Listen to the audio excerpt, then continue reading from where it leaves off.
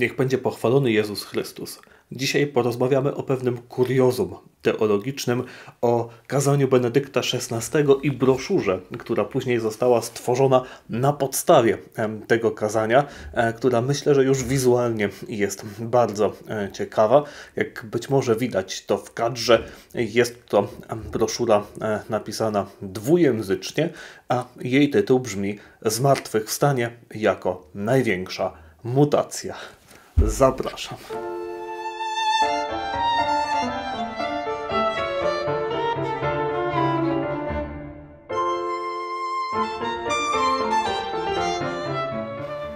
Owa broszura omawia, cytuję homilię wielkanocną Benedykta XVI z roku 2006.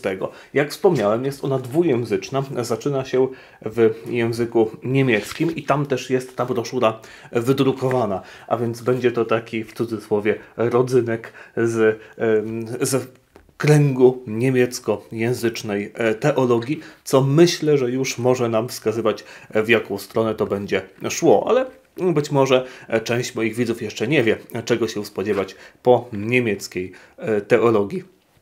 Ja powiem tak, trzeba się spodziewać wszystkiego, co najgorsze.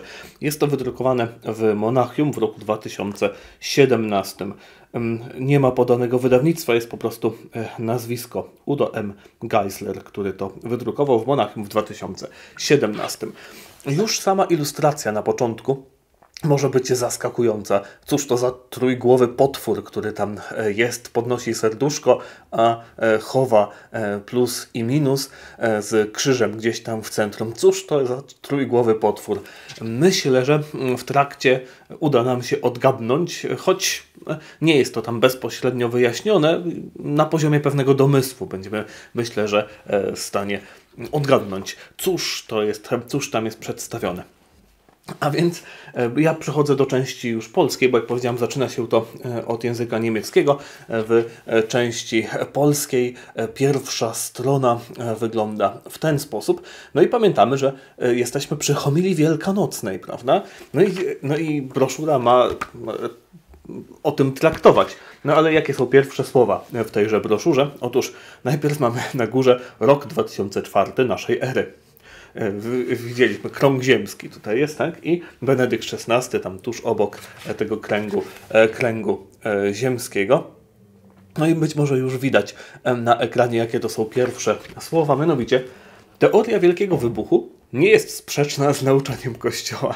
Przepraszam, e, e, a z tym zdaniem w pełni się zgadzam, natomiast, natomiast umieszczenie go e, jako, jako pierwszego zdania w broszurze, która jest zatytułowana Homilia Wielkanocna Benedykta XVI, czyli najpierw rok 2004 naszej ery, pod spodem teoria Wielkiego Wybuchu nie jest sprzeczna z nauczaniem Kościoła. Już to, powiedzmy, może sugerować, że mamy do czynienia z pewnym kuriozum teologicznym. Później podany jest, skąd to jest, dokument programowy Watykańskiej Międzynarodowej Komisji mm, Teologicznej. I dalej mamy zapisane. Bóg stworzył materię przed wielkim wybuchem. W tekście komisji traktującym o powstaniu kosmosu czytamy, że teoria wielkiego wybuchu nie stoi w sprzeczności z założeniem, że materia istniała także przed wielkim wybuchem w innej formie, a mianowicie jako dzieło stwórcze Boga. Hipoteza absolutnego początku, mającego miejsce przed wielkim wybuchem, jest z naukowego punktu widzenia nie niemożliwa. Jeżeli po wielkim wybuchu materia organizowała się w sposób umożliwiający powstanie życia, to z punktu widzenia Komisji Teologicznej nie stoi to w sprzeczności z wiarą w boską moc stwórczą. Przez ten rozwój Bóg sprawił, już mógł, y, mogły zaistnieć warunki konieczne dla powstania i podtrzymania żywych organizmów. Również selekcja przypadkowa została stworzona przez Boga. Nawet przedstawiono przez kilku naukowców tezę, tezę o ewolucji istot żywych pozostawionej całkowicie przypadkowi selekcji naturalnej, komisja uznała zadającą się pogodzić z wiarą e, katolicką. Polegający jedynie na przypadkowym wyborze proces selekcji miał miejsce tylko dlatego, iż został stworzony przez Boga Takie stwierdzenie znajdujemy w tekście. To samo odnosi się do powstania człowieka w procesie ewolucji. Również w tym skoku ontologicznym należy upatrywać działanie Boga Stwórcy, który działa pośrednio poprzez związki przyczynowe istniejące od momentu powstania wszechświata. A więc mamy od samego początku taki gruby kaliber. Przypominam, że broszura jest zatytułowana, to mamy pod spodem ta homilia wielkanocna, czy zatytułowana jest Zmartwychwstanie to największa mutacja, a później homilia wielkanocna Benedykta XVI.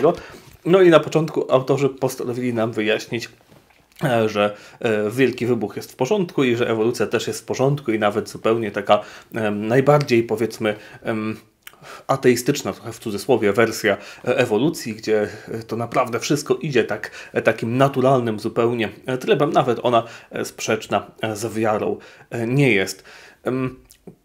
Komentarz do tego, tego tekstu to jest rzecz, która by wymagała mm, dużo, długo, długiej pracy czy dużego czasu odsyłam do, przede wszystkim do mojego materiału mm, Ksiądz i 5 ewolucji albo Ksiądz versus 5 ewolucji, gdzie starałem się jako tako e, tą sprawę wyjaśnić. Podlinkuję też ten materiał w opisie. Dla nas w tym materiale akurat nie jest najważniejsze żeby roztrząsać e, co i jak dokładnie, co jest sprzeczne, a co nie jest sprzeczne, dla nas jest ciekawe, że postanowiono to dać jako taki wstęp, tak? po którym następuje już e, zasadniczo homilia Benedykta XVI. E, a więc najwyraźniej autorom zależy najbardziej na tym, żeby właśnie już na wstępie ten czytający to katolik wiedział, że tak naprawdę to ewolucja jest super, nie? Ten wielki wybuch, ewolucja jest super i teraz tylko już przechodzimy właśnie, jest to najwyraźniej taka takie tło, taka baza wyjściowa dla tejże homilii Benedykta XVI. Trochę zaskakujące, tak? Jeśli mówimy o homilii wielkanocnej, to dlaczego potrzebujemy akurat takiego tła, takiej bazy? Ano dlatego, że ta teologia będzie bardzo, bardzo, bardzo specyficzna. Hmm. Odsyłam jeszcze raz, jeśli chodzi o samo tło, do moich materiałów, przede wszystkim właśnie do tego e, materiału Ksiądz i 5 ewolucji, które wydaje, jest ostatnim moim materiałem na ten temat i wydaje mi się, że dosyć dobrze e, podsumowuje e, wszystko, e, co mam na ten temat do mm, powiedzenia. No i zaczyna się cytatami z tego kazania. Ja będę tutaj cytował fragmenty, fragmenty wyróżnione również przez autorów. Tutaj pokażę, jak to mniej więcej wygląda. To będzie widać, moim zdaniem, jak się już wyostrzy, że niektóre fragmenty są, są pisane wielką czcionką i też te fragmenty będę czytał, te najważniejsze, najwyraźniej dla autorów broszury mm, fragmenty. Zauważymy w nim również pewne problemy w tłumaczeniu, a więc jeden niemiecki teolog powiedział kiedyś z ironią, Miracle reanimacji trupa, o ile w ogóle miał miejsce, w co on nie wierzył, jest ostatecznie nieistotny, ponieważ nas nie dotyczy. W rzeczy samej, jeśli ktoś kiedyś tylko raz został wskrzeszony i nigdy więcej nie miało to miejsca, w jaki sposób miałoby to nas dotyczyć? Jaki miracle? To dlaczego tutaj mamy jakieś słowo nie w języku polskim? Mm, przewracam do języka niemieckiego, żeby zobaczyć, co tam było, e, co tam było napisane. Aha, jest w języku niemieckim użyte dokładnie to, to samo słowo. Das Mirakel einer wiederbelebten Leiche. E, co to znaczy? Moim zdaniem to już w pierwszej chwili powinno sugerować, że ktoś to tłumaczył za pomocą tłumacza Google'a. E, I gdy jakieś słowo mm, nie zostało odcyfrowane, to zostało po prostu e, zostawione. A więc mamy tutaj taki miracle reanimacji trupa. Jak to brzmi w tym kazaniu? No brzmi to w ten sposób, że no, jest zatytułowany jakiś jeden niemiecki teolog, który tak twierdził, że to w ogóle nie ma znaczenia, czy doszło do ożywienia e, ciała Pana Jezusa, to, to nie ma znaczenia. To jest tylko jakiś, czy taki cud miał, czy nie miał, bo to tylko jedno przypadkowe, znaczy jedno mm, wydarzenie dawno, dawno temu. No, ale skoro nie ma tutaj znaczenia, mm, to, to, to wskrzeszenie, czyli w zasadzie zmartwychwstanie po prostu najwyraźniej nie ma e, znaczenia, to co pisze nam papież. Ale zmartwychwstanie Chrystusa jest czymś więcej, jest czymś innym. Jest, jeśli możemy się tutaj posłużyć językiem teorii ewolucji, największą mutacją absolutnie najbardziej decydującym przeskokiem w całkiem nowy wymiar, który w długiej historii życia i w jego rozwoju dotychczas nie miał miejsca. Skokiem w zupełnie nowy porządek, mającym znaczenie dla nas i dla całej historii. Mm. Ciekawe. A więc wydaje się, że według papieża Benedykta XVI sam cud wskrzeszenia, to wskrzeszenie niewłaściwe słowo, przepraszam, to, um, uż, używam go na podstawie tego, co mamy tutaj, ta reanimacja. Reanimacja nam się kojarzy z, z takim procesem ratowania, natomiast reanima, tak po przywrócenie duszy, to znowu tłumacz Google'a się tutaj kłania, a więc Swoją drogą, no to tłumaczenie jest, jest w pewnym sensie wulgarne w odniesieniu do, do e, Pana Jezusa. No w każdym razie, a więc zmartwychwstanie e, jako takie, e, jako jednostkowe wydarzenie najwyraźniej nie ma wielkiego znaczenia. Najwyraźniej to, czy odbyło się w ten sposób, czy nie, to nie jest aż tak bardzo istotne. Największe, najważniejszym tutaj jakby wydarzeniem wydaje się być to, że jest największą mutacją, to znaczy największym ewolucyjnym przeskokiem. No i cóż to jest ten największy ewolucyjny przeskok? Zapoczątkowana przez uczniów Jezusa dyskusja miałaby zatem dotyczyć następujących pytań: co się tam wydarzyło? Co oznacza to dla nas ogólnie, dla świata i dla mnie osobiście? Przede wszystkim, co się tam wydarzyło? Jezus już nie leży w grobie, ma całkiem nowe życie. Ale jak to się stało? Jakie siły zadziałały? Decydującą rzeczą jest, że ten człowiek Jezus nie był sam. Nie był ja zamkniętym w samym sobie. Był jedno z żywym Bogiem, tak bardzo z nim zjednoczony, że stanowili jedną osobę. Można by powiedzieć, że trwał w objęciach tego, który jest samym życiem, w uścisku nie tylko emocjonalnym, ale obejmującym i przenikającym jego byt. Co nam dalej Benedykt XVI mówi na ten temat? Zmartwychwstanie było niejako eksplozją światła, eksplozją miłości, która przerwała nie dający się dotąd rozsupłać splot umieraj i stawaj się. Zapoczątkowała ona nowy wymiar istnienia, istnienia życia, w które w sposób przemieniony została również włączona materia i z którego wyłania się nowy świat już mniejszą czcionką. Oczywistą rzeczą jest, że to wydarzenie nie jest jakimś tam cudem z przeszłości, którego autentyczność ostatecznie mogłaby być nam obojętna. A więc mamy e, przynajmniej wyrażoną troskę o autentyczność tego cudu. Jest to przełom, znowu wielką czcionką, w dziejach ewolucji i w ogóle życia, prowadzący ku przyszłemu nowemu życiu, ku nowemu światu, które począwszy od Chrystusa nieustannie przenika już nasz świat, przemienia go i pociąga do siebie. I po tym po tych słowach mamy taką, taką ilustrację, e, która najwyraźniej e, no, według autora e, oddaje istotę sprawy e, i naprawdę jest to dosyć zaskakująca ilustracja. Tutaj Benedykt XVI, tutaj kula ziemska, e, tutaj jakieś znaki powiedzmy, chciałem powiedzieć znaki Zodiaku, nie, nie są to znaki Zodiaku, są to znaczki, które pewnie e, za chwilę, za chwilę będę mógł E, wyjaśnić. E, też jest tam Benedykt XVI pomiędzy takim ta, ta, ta, mm, jakiś taki wykres, ten X, te, te osie dwie X i Y wygląda trochę jak Benedykt XVI na e, celowniku. No, dziwne, dziwne. Następują kolejne fragmenty, które są pisane już zwykłą czcionką. Natomiast co dalej zostanie tutaj wyróżnione? Chwilę później znajdziemy fragment Ja, ale już nie ja. Oto droga krzyża, droga krzyżująca się z życiem zamkniętym jedynie w ja, otwierając w ten sposób drogę prowadzącą do prawdziwej i trwałej radości. I podany jest odnośnik Emaus, Łukasz 24 i wtedy pojawia się też ponownie ten rysunek z okładki, co moim zdaniem wskazuje na to, że e, tak należy go interpretować, to znaczy, że e, jest to rysunek przedstawiający uczniów z Emaus, e, którzy nie dochodzą do poznania niejako rozumowo, podejrzewam, że to jest ten plus minus, tylko właśnie, a czy serce w nas nie pałało i dlatego to serce jest podniesione, tak myślę, a w środku pewnie jest Pan Jezus i ten krzyż stąd. A więc podejrzewam, że tak należy rozumieć tą tajemnicę tego trójgłowego potwora. No cóż mamy dalej? Zmartwychwstanie jest wydarzeniem kosmicznym, obejmującym niebo i ziemię i łączącym je razem. I pod tym mamy e, taki, e, taki schemat, który teraz pokażę. Tak? To zmartwychwstanie, które łączy cały wszechświat razem z mnóstwem różnych symboli. Myślę, że za chwilę będziemy rozumieli je e, trochę lepiej, bo ostatnia strona będzie nam to wyjaśniała. Cóż mamy na tej ostatniej stronie? Ona jest warta, warta obejrzenia. Myślę, że tutaj pokażę jej fotografię, jak uda mi się to w miarę sensownie e, sfotografować. Cóż my tutaj widzimy? No najpierw widzimy takie dwa schematy świata. Cóż mamy? Świat rok 30 i jest jedno serduszko w Ziemi Świętej, a później 2000 lat później mamy mnóstwo serduszek na całym świecie. Jakby taka naiwność, tak, ta banalność jakby tego przedstawienia jest żenująca moim zdaniem. Nie wiem, naprawdę to jakby tak, tak widzimy, widzimy tą, tą rzeczywistość, takie rozlewające się serduszka. No oczywiście mm, nauka Pana Jezusa rozpala te ludzkie serca. I oczywiście, że, że zadziało się to w tym sensie, tak, że Pan Jezus rozpalił tą miłość do Pana Boga, przede wszystkim tą nadprzyrodzoną miłość do Pana Boga.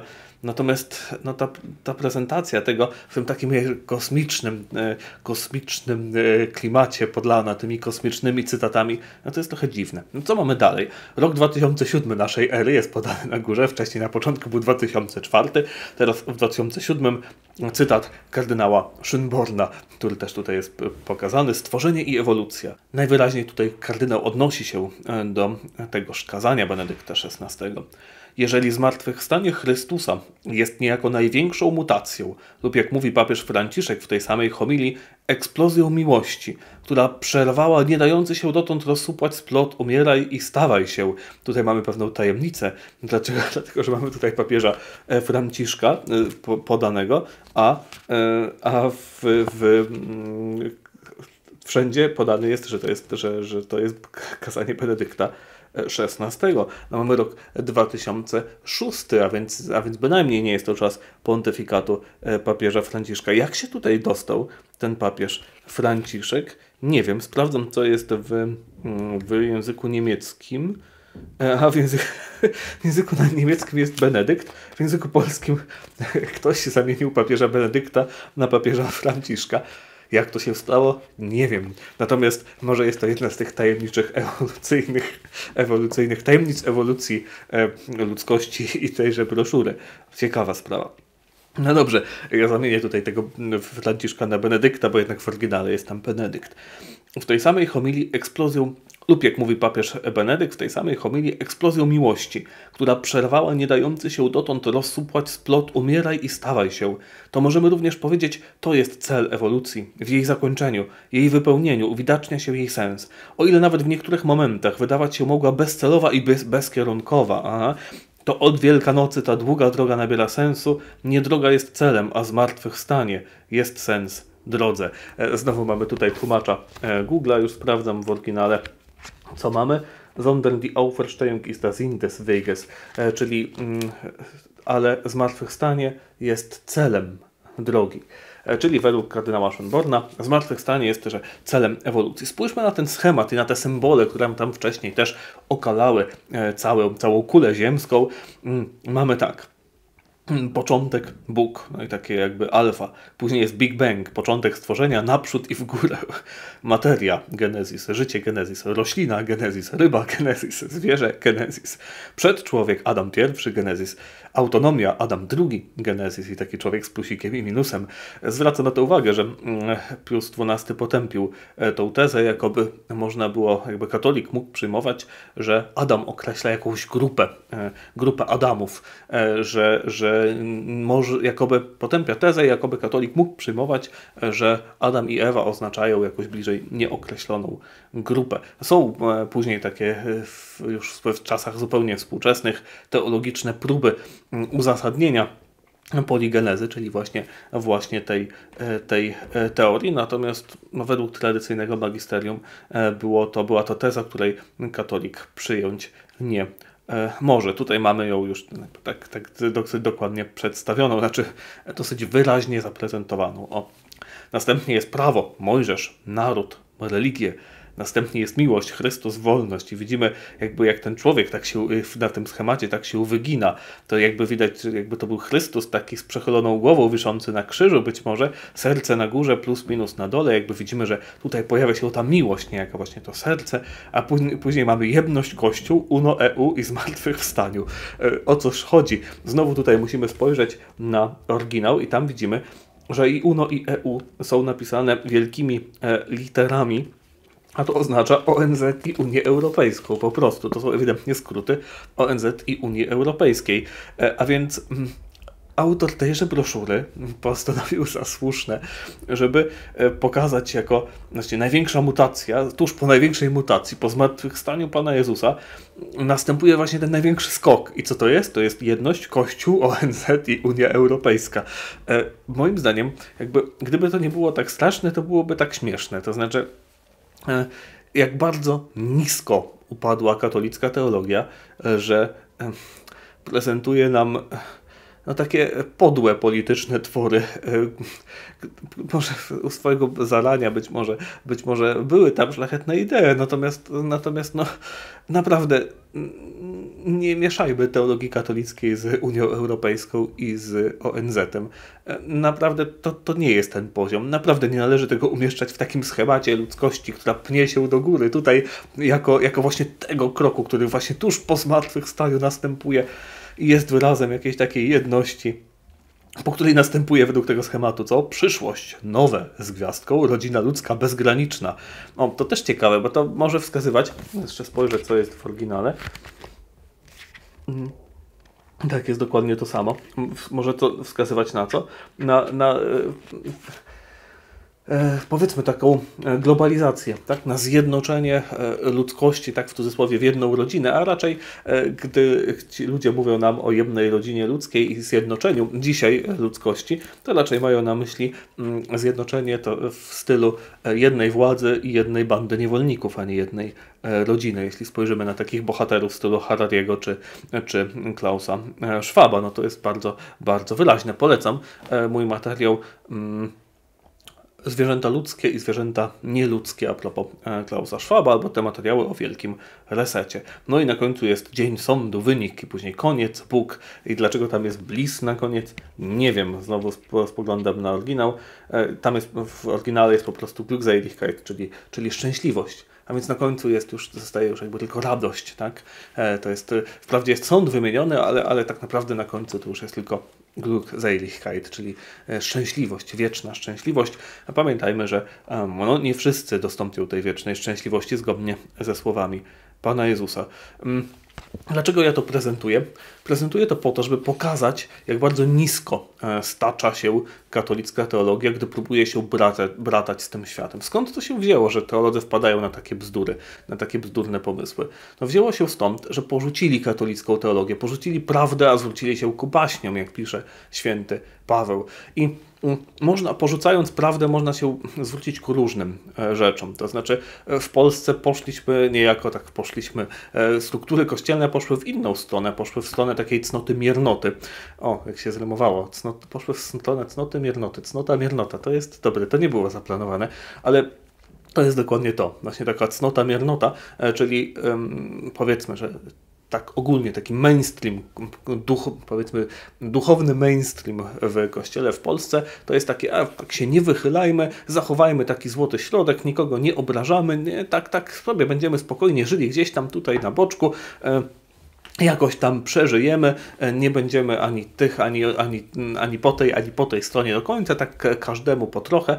Jest to bardzo, bardzo mocno widoczne, przede wszystkim na poziomie teologicznym, co ciekawe, mniej na politycznym. Tutaj e, niestety e, jakby hierarchia kościelna wybrała inną drogę, tu uznała, że tu warto walczyć o e, prawdę, tak powiedzmy w cudzysłowie, e, co, co, co jest oczywiście błędne. E, natomiast na poziomie teologicznym mamy do czynienia właśnie z taką cnotą, miernotą, to znaczy e, no, nie bronimy prawdy, wszystkie religie są prawdziwe, nie ma prawdy, nie ma fałszu, obchodzimy sobie dzień judaizmu, dzień, dzień e, islamu, tak sobie żyjemy, nikogo nie obrażamy, tak, tak żeby, żeby wszystko, żeby wszyscy nas lubili zasadniczo na tym poziomie e, teologicznym, albo można pójść jak Niemcy drogą szaleństwa intelektualnego zupełnego i tworzyć właśnie takie twory w stylu mm, w stylu zmartwychwstanie jest największą mutacją, tak, w stylu tej broszurki, czyli tworzyć jakieś takie panteistyczne e, wizje, które bazują gdzieś tam na, na współczesnej nauce, ale tak bardzo lekko, bardziej bazują na takich współczesnych mitach e, i mieszają współczesne mity z taką, powiedzmy, katolicką terminologią. No i to jest to, to są takie współczesne mity pomieszane z, z katolicką terminologią. Mm, wydaje się, że tak docelowo, no to jest po prostu w służbie nowego porządku świata. To jest w służbie takiego rządu światowego, o którym już kiedyś mówiłem, że nie uważam, żeby było możliwe, żeby cały świat zarządzać niczym taką szachownicę z góry, natomiast nie zmienia to faktu, że jak najbardziej można próbować dążyć do takiego stanu, w sensie nie, że można moralnie dążyć do takiego stanu, ale, ale że jest to zasadniczo możliwe, że można próbować gromadzić władzy jak najwięcej i bez wątpienia są takie osoby, które próbują zrobić z ludzi niewolników i zdobyć nad nami jak największą władzę. Właśnie ludzie pokroju e, Klausa Schwaba e, czy ideolodzy pokroju Harariego, tak, którzy uważają, że jest potrzebna e, niejako taka, taka rasa niewolników. Odpowiedź na to wszystko jest bardzo prosta umiłowanie prawdy. Kochani, szukajmy po prostu prawdy. Szukajmy Pana naszego Jezusa Chrystusa i wtedy wszystkie te mrzonki, wszystkie te bzdury, e, wszystkie te cnoty, miernoty, to wszystko pokazuje się nam wtedy bardzo jasno jako coś podłego, jako coś obrzydliwego, jako coś obmierzłego. Tak, te idee są obmierzłe. Oprócz tego, że te są też w jakiś sposób śmieszne, to są po prostu obmierzłe. Tak samo jak obmierzła jest ta teologiczna leniwość, ta teologiczna miernota e, współczesnych, powiedzmy, że polskich teologów, tak w cudzysłowie polskiego duchowieństwa.